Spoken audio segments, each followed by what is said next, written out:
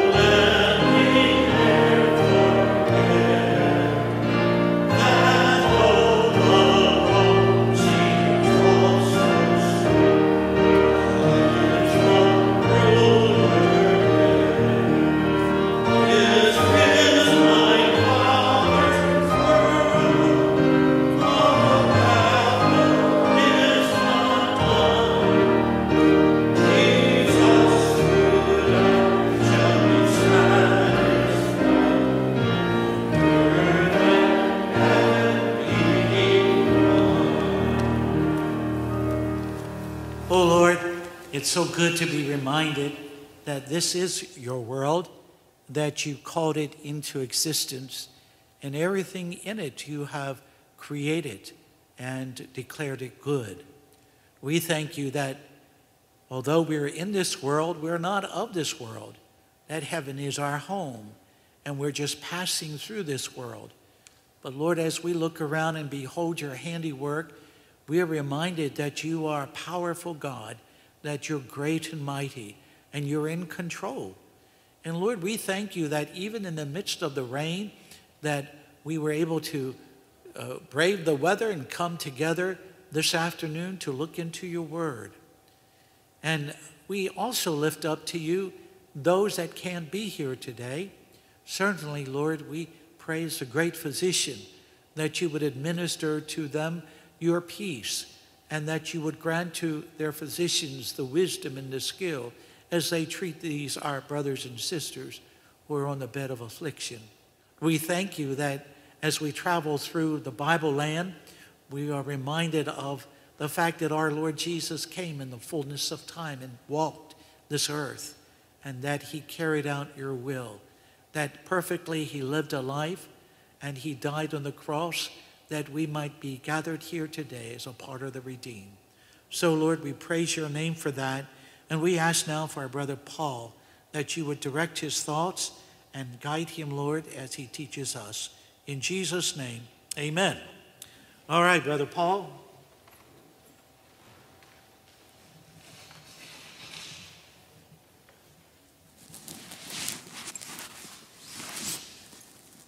Good to see each of you again today.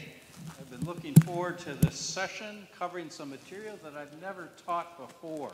So I get to move into some new territory. We're spending 11 weeks uh, walking through the land of the Bible. We have come today to week number six, so we're uh, we're at that half halfway point.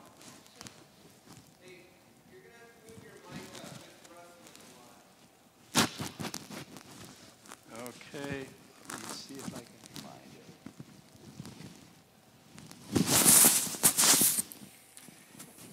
it. It fell down, that's why. Yes, right. Hear my stomach growling. Okay, as I was saying, let's start over again. It's good to be here. We're at week six out of 11 weeks walking through the land of the Bible, and we're covering some brand new, uh, brand new information today that I have not taught before. So you are sort of the guinea pigs to listen in on some of this uh, new material. And all this will be available on video as well for those who miss it or want to review it uh, in, the, in the future. Several years ago, Margie and I uh, set aside several weeks to uh, study a course on Bible geography at Jerusalem University College. It used to be called the Institute of Holy Land Studies. And the building that you see pictured here is located on Mount Zion outside the walls of the old city of Jerusalem. And so we had some lectures that took place in that building that you see pictured there. But most of the time was spent in field trips where we trekked to different parts of the land of the Bible. Uh, we would sit down on a rock or on the ground. We would have our atlas with us, our Bible, and our notebook, and the professor would uh, talk about what we were seeing and what took place in that location. So it was an excellent way to get out of the classroom and actually see what was going on. We had to have good hiking boots for this because uh, we were to be ready to walk over a hundred miles uh, in that course and uh, not all the miles were on level land. If you know Israel, there's a lot of climbing up and down. And so, walking through the land, we were led by our professor uh, for that several week period, was uh, Jack Beck, Dr. John Beck, who also happened to be a Zondervan author. So that made him um, important and special to me. He has written for other publishers as well, whose names will not go mentioned here. But uh, his latest book, among many books that he's written, his latest book is called Along the Road How Jesus Used Geography to Tell God's Story. And so, uh, a good part of what we're going to talk about today comes from things that I've learned from this book and from what I've learned from walking myself around the land of the Bible. So let's begin by uh, making the statement that Jesus loved to walk outdoors and to teach his disciples along the way as he was walking or if he would stop by the wayside. There's a very real connection between walking and teaching in the ministry of, of Christ. In fact, this was evident from the very beginning. At the beginning of his public ministry, remember, Jesus went to the Sea of Galilee, called some of his disciples uh, to himself, and he said, for example, to Andrew, Come follow me. Or, in other words, come and walk alongside me. And indeed, that's what Andrew and the other 11 disciples did during the course of that approximately three years of, of public ministry. And John Beck has said that when Jesus said walk, he literally meant walk. Most of Jesus' teaching was done outdoors as he walked along the road. He led his listeners to specific locations and then knit his lessons into the soil and scenery. Notice that last clause. He knit his lessons into the soil and the scenery. And that indeed is what I'm hoping to do here in this course uh, during January, February, and March. To take some of the lessons of Scripture, to knit them into the soil, the scenery, and to associate them with that. And so there is a very close connection between walking and how we study the Bible. And that's what we're going to talk about today. What is that connection between walking and study of the Bible? How can we organize and study the Bible? Let me talk about several options. The first two are fairly obvious, the third probably will be less familiar. Three ways of organizing in our study of the Bible. The first one is this we can organize the contents of our Bible by the movement of time, that is, chronologically to see the sequence of events that occur. And often Bible study is arranged that way. Uh, you begin from an earlier time, end up with a later time, and see the progression. Or you look at things that chronologically occurred. For example, what were the events in the last week of Christ's ministry? And you can go through day by day and study the Bible that way. Let me give a couple examples of this. If you are reading through the Bible, say, reading through the Bible in a year or reading through in two years, you're going to come to 1st and 2nd Chronicles, 1st and 2nd Kings, and 1st and 2nd Samuel. And as you read through those books, you say, I've heard that story before. And they're repeating a lot of things. Well, a way to study those books is to look at chrono- the chronological progression and sequence of events, to put them in parallel columns. What is being told in Chronicles versus what is being told in Samuel and in Kings. Or another example from the New Testament.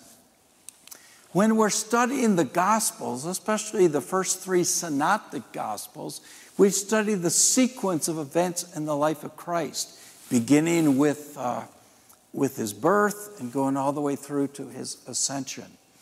And so you can actually buy books that have columns that take all the events and arrange the events next to each other in, in chronological order. So it's an excellent way to study the scripture, to study it chronologically. However, there's also another way to study the Bible and that's to organize the uh, study of Scripture topically, to take per- certain topics or themes, which is what you do in biblical theology. You take, for example, study of Christ. What, what do we learn about Christ in the book of Isaiah or in the Psalms? And how does that compare to the Gospels in the New Testament? Or you can take a topic like uh, sin. What's the, what's the teaching on sin in the Old Testament versus what Paul does in the book of Romans? Or salvation or eschatology or the Holy Spirit. And you look at a topic and you go through the scripture topically. There are topical Bibles, there are concordances that enable you to put that material together. However, there's a third way that is not as familiar. And that is that we can organize the contents of the Bible geographically. We can bring together different kinds of biblical literature, be it poetry or letters, the epistles or stories, that is the narrative sections of Scripture and we can find those passages that occur at the same geographical location and say, okay, What can we learn from looking at all that occurred? When we visit a place, what happened here in the Old Testament? What's now happening in the New Testament in that particular, in that particular uh, location? Let me give an example. If you go back in the Old Testament, that famous prophet Elisha raised to life the son of a widow in the village of Shunem. It's told in 2 Kings chapter 4. And I'm sure we're familiar with that story of that poor widow who lost her son. She needed him. Elisha came and uh, was able to perform a miracle to bring him back to life. Where did that occur geographically? In the town of Shunem. About 850 years later, Jesus came, and there was another widow whose son died, and he raised the dead son of that widow to life once again. Where did that occur? It's described in Luke chapter 7. It occurred in the village of Nain. Okay, what's the significance here? Let's look at the geography of this. Both of these villages are on the same hill or mountain. Both of them are located on Mount Moreh. They're only about a mile apart. Interesting. Close together, only about a mile apart, the very same mountain. And so this begins to raise a question. The question is this Why did Jesus come along and perform a miracle in the same area as Elisha? Why did he do that? Well, asking that kind of question is an example of studying the Bible geographically. In fact, I'm not going to answer that question now because in a couple weeks we're going to look at some of the mountains in the Bible. We're going to come back to Mount Moreh and we'll look at the, the connection here of what occurred at that mountain. But I'm using that as an illustration of a method of Bible study. We can study chronologically, we can study topically, we can study geographically to look at events that occurred in the same area. Well, how did walking in Bible times differ from our walking today? Margie and I, just about every day of the week, go and walk several miles and we do it for exercise, for relaxation, to be able to talk and so forth. But we're not to read our kind of walking back into the Bible because people in Bible times walked everywhere. Not just for leisure, not for recreation, not for exercise, but they walked everywhere. Walking was the prime means of transportation. There were no scooters or uh, Harley Davidsons or BMWs or buses or trains. Transportation was primarily a matter of walking from one place to another, the prime means of transportation. Let me give some examples. Remember the family of Joseph, his father, his brothers, and all their relatives were given permission to journey from Canaan, where there was a famine, down to Egypt, where Joseph had accumulated plenty of food. How did they get there? The families walked that distance. And so that was the only way to get there into that area.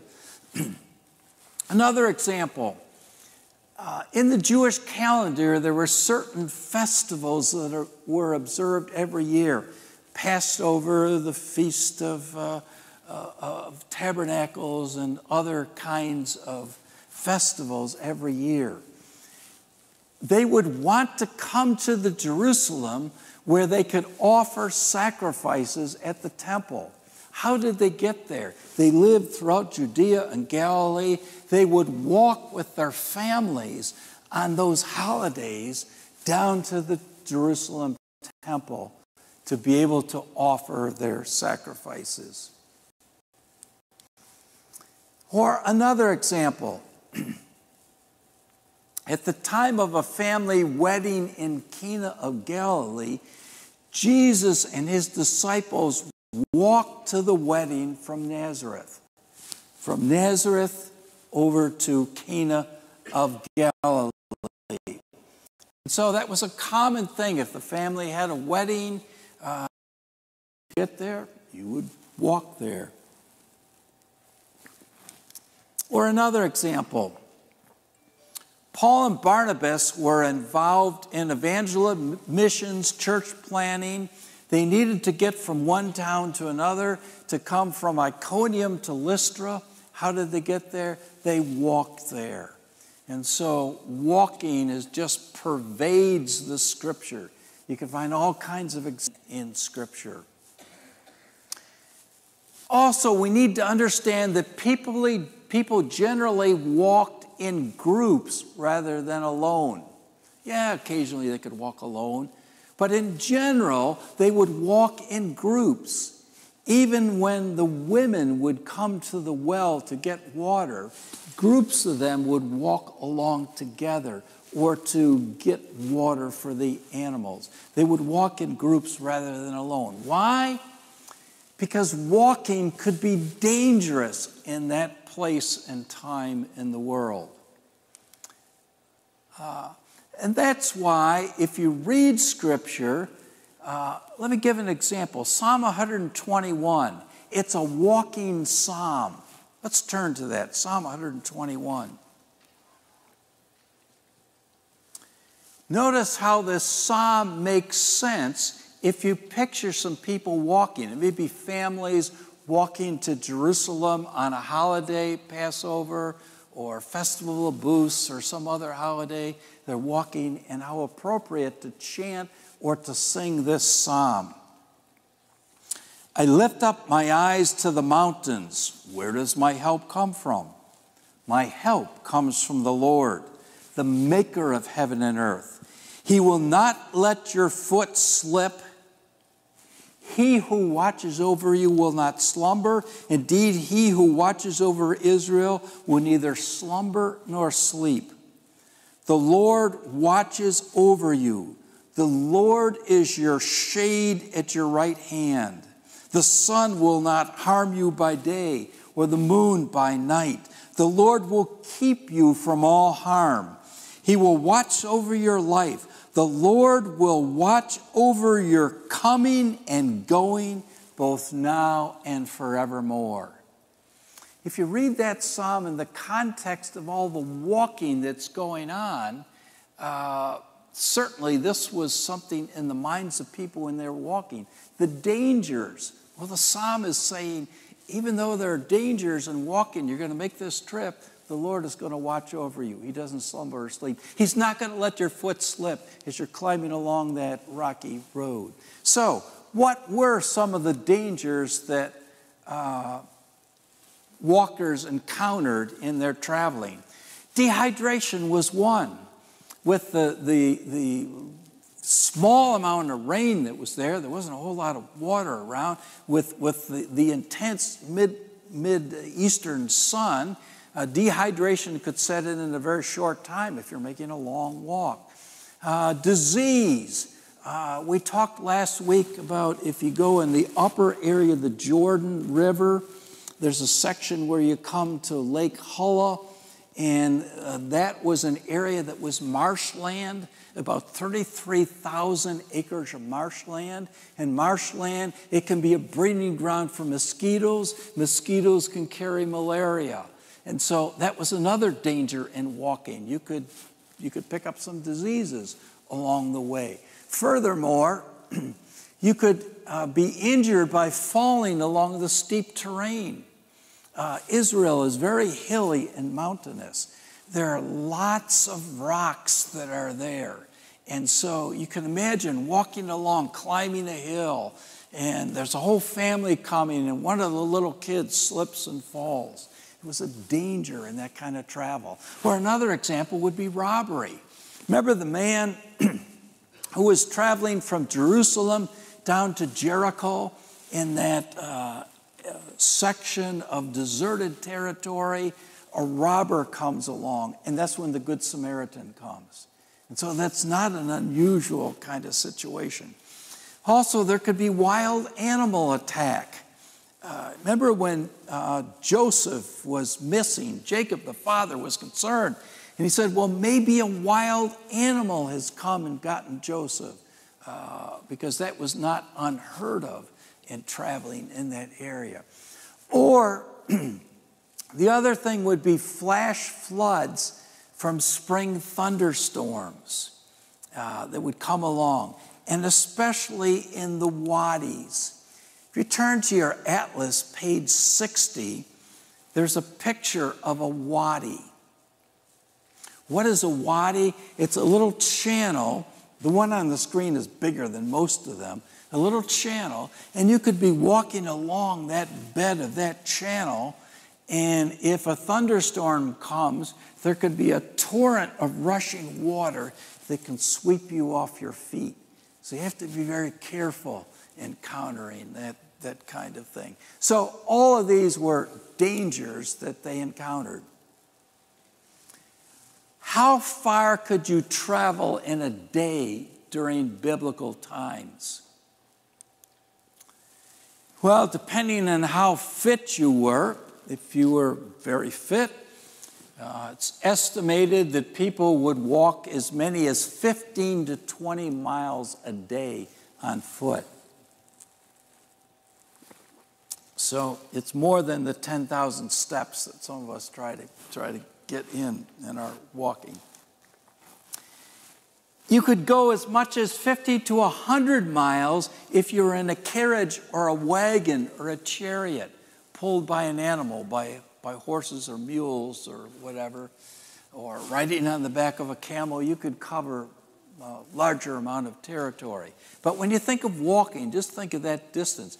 We, we think nothing of going hundreds of miles in a day, and if we're flying thousands of miles, people were really limited at that time of history in the dis, dis, uh, distance they could walk. We said that people didn't walk alone, but often in groups. And when they walked in groups, it would give them an opportunity to talk.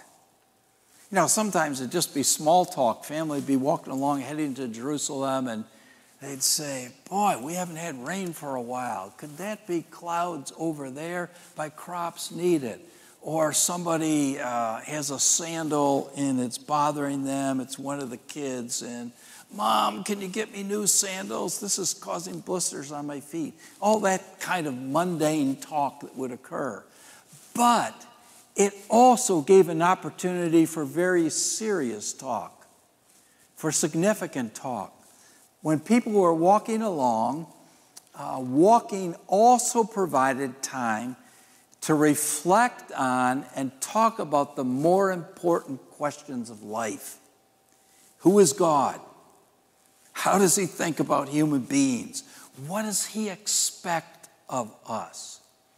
And so, walking provided that opportunity for more in depth conversations. It was a slower pace of life. You know, now we're jotting here and there in a car and so forth, and if the kids are with us in five minutes we're there, it doesn't give an opportunity for long, serious conversation. In that setting, if you were walking from one village to another for several hours, that would give a good chance to be able to talk with people about serious things. Let me point out that in New Testament times, people didn't have access to Scripture the way we do. The canonical New Testament wasn't completed yet. Some letters were circulating, but not the whole New Testament. The Old Testament had been completed, but it was only possible in scrolls. And so you would have several scrolls a scroll of Isaiah, scroll for some of the Pentateuch and so forth, and you couldn't carry them along with you as easily. And furthermore, they had to be copied by hand, and a lot of people didn't have scrolls of their own in their home.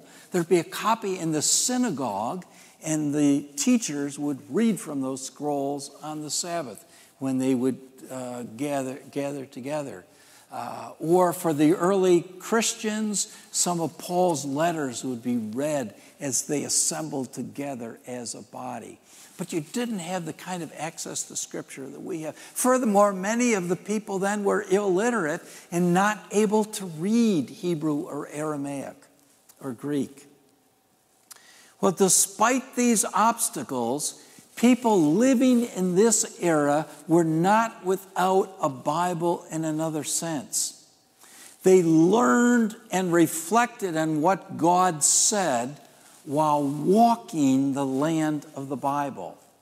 They could recall what the rabbi had read in the synagogue or what had been read from Paul's letter. And as they walked through the land, they would make association with some of the things that they had learned from Scripture with the places and the setting of where those uh, uh, occurred.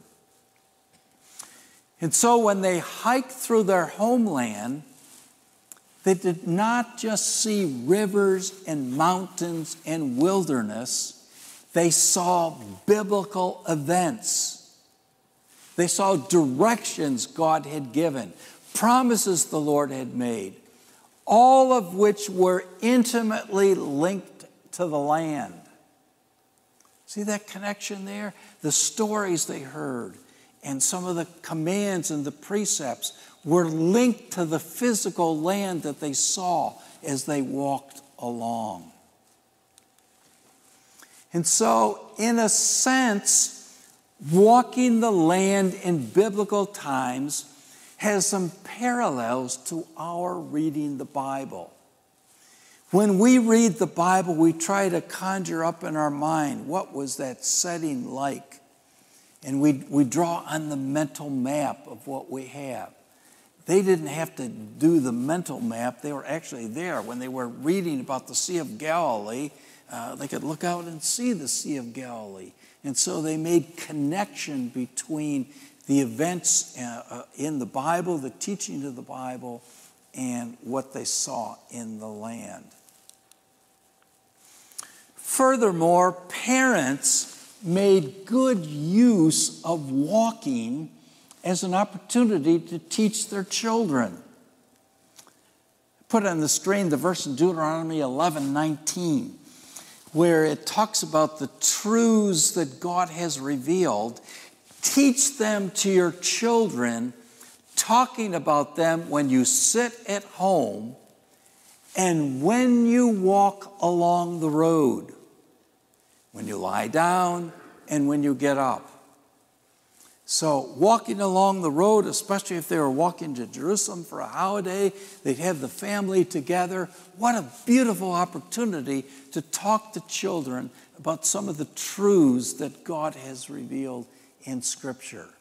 And so there was that connection between family instruction and walking that stands out and is encouraged in Scripture. So, we're to read the Bible like a walker. How can we read our Bible like a walker? Three suggestions are given by John Beck and how to read the Bible like a walker. Number one, acknowledge that all Bible verses have a physical setting that aids our comprehension. What is the setting? These aren't just things thrown out floating in the, in the air of mythical conjectures and so forth. These are statements, they're stories, they're commands that have a setting. And so we need to acknowledge that there is a setting and to learn to be more observant of that setting when you read Bible passages tell ourselves. And it's very easy if you're reading through the Bible and you want to read a couple chapters a day, it's very easy to sort of let the mind go into automatic pilot and to read the verses. You ever had that happen? You get done reading a chapter, you say, What did I just read? You know, what did I just read? Well, I got it done. I could check it off. I read it. But what did I read? And so it's a conscious looking for the, the setting and the context of Bible passages. Secondly, he suggests to actively look for clues within a Bible passage that indicate where the events or where the teaching occurs. So, if you're reading John 14, Jesus' instructions to his, disciples, where does that teaching occur? You know, he talks about the vine and so forth. Where physically? If you look at the setting, the, the, whole, the whole teaching of Jesus makes more sense if you look at some of those clues. Uh, is there a city mentioned? Is there a region mentioned, like uh, Galilee or Samaria, Judea? Uh, is there a mountain that's mentioned? Mount Moriah? Okay, what's the significance of that? Is there a river that's mentioned? Is there a wilderness? There, there are at least 17 different wildernesses. Wilderness is, doesn't sound right, in the land of the Bible. Uh, and so, which particular wilderness was Jesus in when he was facing temptation, etc.? We'll talk about that more in, in weeks to, to come. So, it's looking for those clues. Then, here is probably the most important thing to, to a new idea that I'd like to, to convey. Look for other stories or elements that share the same spaces, the same physical location. And to do that, you'll probably need to check a concordance or the index of a Bible atlas and look at that. And you look at a particular town and you say, okay, what else occurred in this town? What are all the things that occurred in Capernaum? What are all the things that occurred in Caesarea Philippi? Both Old and New Testament. What occurred in those, those locations? So, here are a couple questions we can ask ourselves when we, when we do that. If we look at a couple events that occurred in the same place, we say, other than place or the physical location, what do the passages have in common? Are there people that they hold in common? Are there events? Are there words? Are there phrases that are repeated in both of those places? Or another question Do the passages that share a place also share a theme? Is there a particular theme that crops up all in that same geographical location? Or do the geographically linked passages of the Bible build on one another, teaching a lesson God wants us to learn? So, is, for example, Elisha's raising the uh, widow's son to life, and then Jesus, 850 years later, you know, is it building? Is there something now that Christ has come? Is there a new theme that ties in? Or is, is the Holy Spirit who inspired Scripture trying to teach us some significant lesson with progressive revelation from Old to New Testament. So, what I would like to do is give you an example of this. And the example is walking with Mary and Joseph from Nazareth to Bethlehem. If you look at your atlas on page 60, you can find those two towns. Nazareth and Bethlehem. Okay? The story of that walk is important enough to be repeated by both Matthew and Luke in their accounts of the Nativity. Okay, both of them talk about that walk from Nazareth to Bethlehem. Okay, what happened was Mary and Joseph lived in the town of Nazareth up in Galilee. Each of them, individually on separate occasions, were told by angelic messengers that there would be a miraculous birth that was going to take place. And so they are alerted.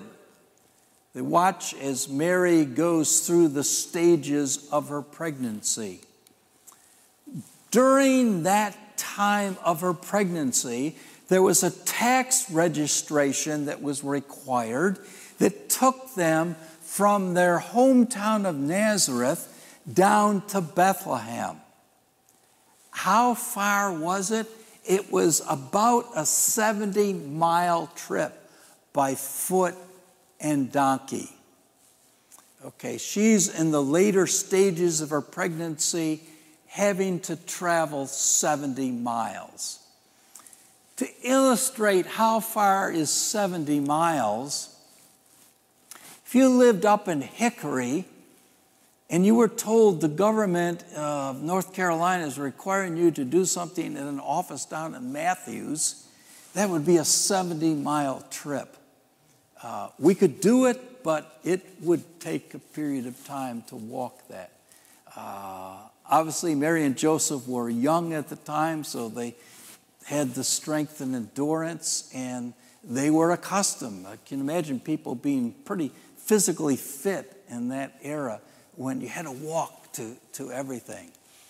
Okay, so Luke, Dr. Luke in his gospel tells us so Joseph also went up from the town of Nazareth in Galilee to Judea to Bethlehem, the town of David, because he belonged to the house and line of David. He went there to register with Mary, who was pledged to be married to him and was expecting a child. Okay, when they arrived in Bethlehem, it was not easy to find lodging, but they did. God providentially provided them lodging in a shelter where animals were kept, and she gave birth to the Christ child. The child was then placed in a manger, a kind of feeding uh, uh, structure to put food for animals. Archaeologists have uncovered what you see on the screen, a number of these that you can find. And you can see it's, it's about the right height, about the right size, that you can take some cloth and wrap the, the infant in that cloth and set him down in that, and uh, he or she is not going to roll out of it. So it provides a convenient place for the child. Meanwhile, the angels had not only told Mary and Joseph in advance what was happening, but now that the event did occur, there were shepherds who were urged by other angelic messengers to go to Bethlehem to the manger to see the infant who had been born there. Luke 2:21 says today in the town of David a savior has been born to you. He is the Messiah, the Lord. Okay, what was that town? They had to walk from their fields into the town of Bethlehem. What was Bethlehem? Bethlehem was a small town that only had just hundreds of people there, not thousands. It was a pretty small town. It was only five miles away from Jerusalem.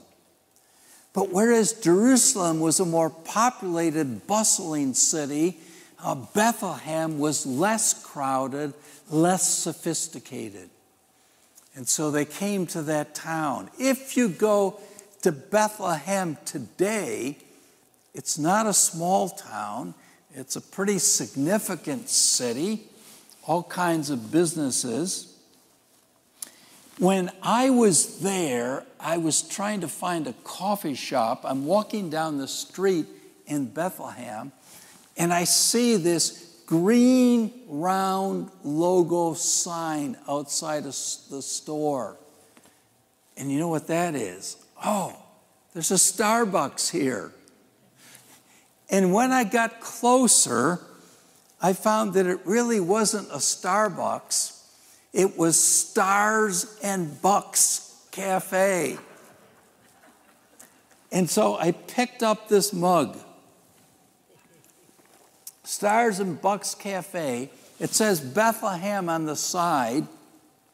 In Arabic, it says Palestine, not Israel, but Palestine, because Bethlehem is in the West Bank. There's the wall, you see in the previous picture, there was a wall there, the security wall that, that exists there. And so, not too many Christians who are left there, a number, number have left, a very strong Muslim city of Bethlehem. Okay, Bethlehem, however, was not only the setting for the birth of Christ, but let's do a geographical study. Because Bethlehem was also the setting for two Old Testament stories. What were those two stories that occurred in Bethlehem?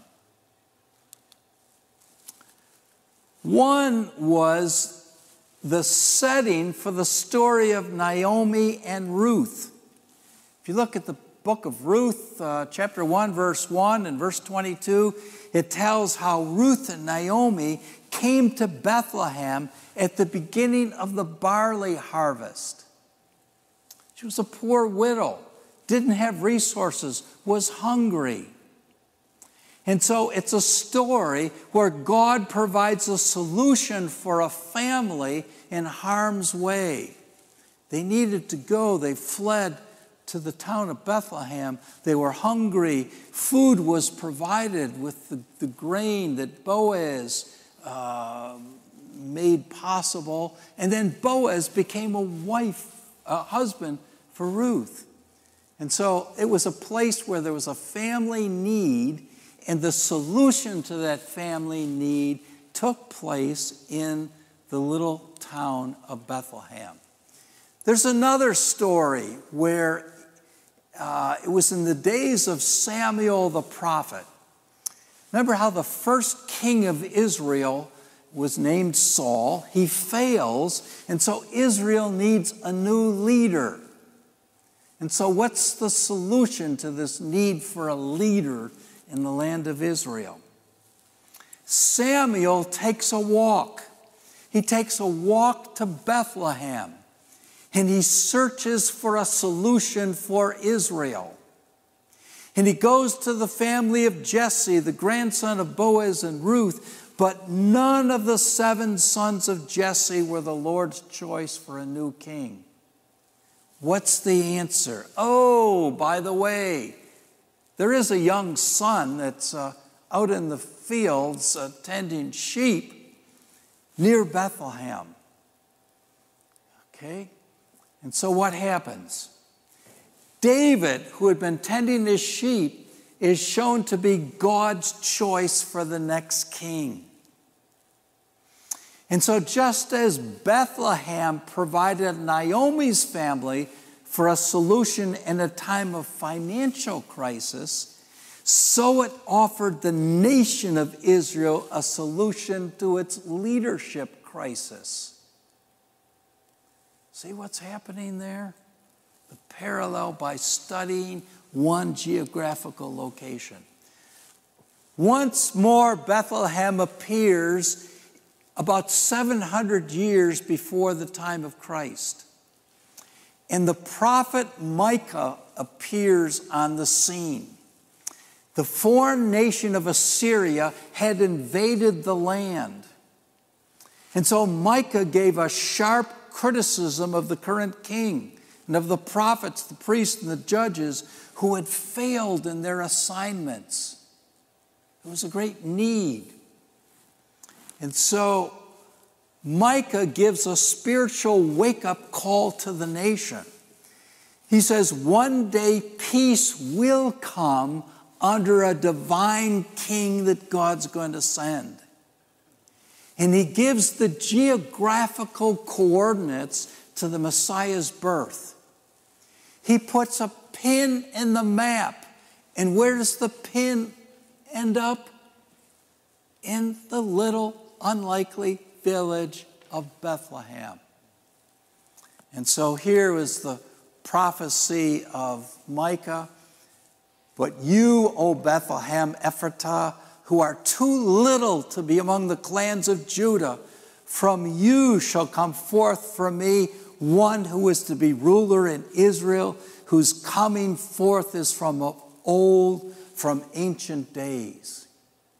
It took about 700 years, but that promise was fulfilled. And the GPS coordinates were exactly where Micah had prophesied.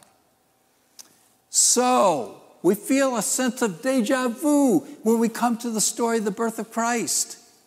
When we walk to Bethlehem with Mary and Joseph, we recognize we have been here before. And Matthew and Luke make sure we know the geographical marker for the birth of Christ. In the beginning of Matthew's gospel, the beginning of Luke's gospel, nine times it references Bethlehem, the town of David so that we don't miss the point. It's Bethlehem. Did I say Bethlehem? Yeah, it's Bethlehem. Did I say Bethlehem? Yeah, Bethlehem. Nine times it mentions it. Okay, put this all together,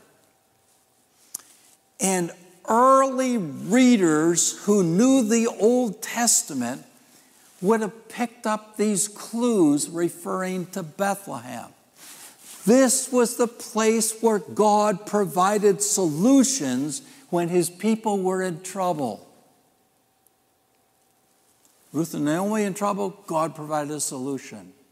The nation in trouble, Samuel, they find the solution of David.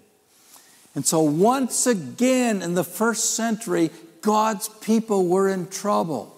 And so, God was providing a solution by sending his son of all places to the little village of Bethlehem.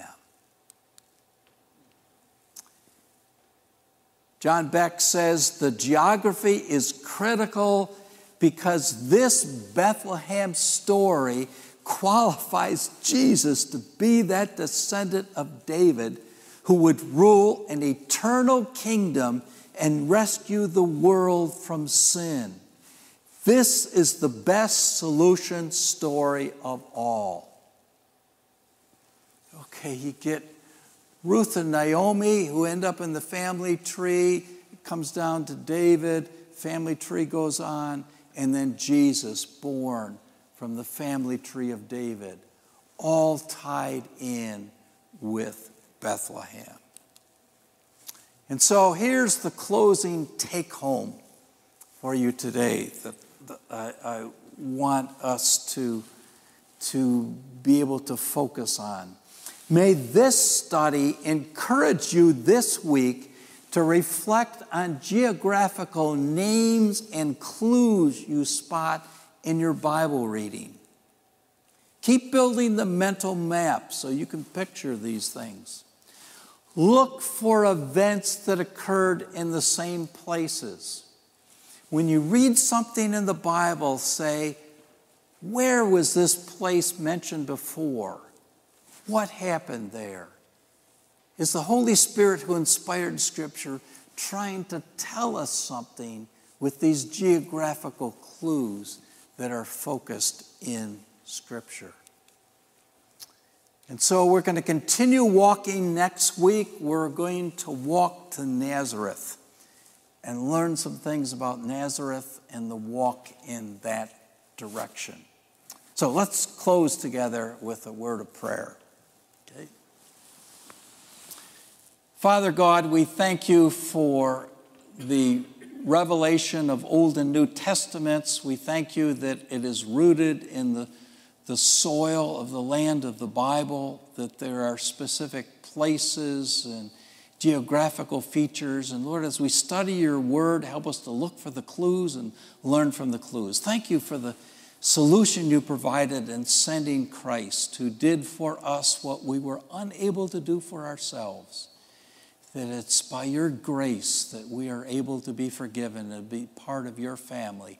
Thank you for that wonderful story of redemption. Thank you for Bethlehem. For we pray in Christ's name. Amen.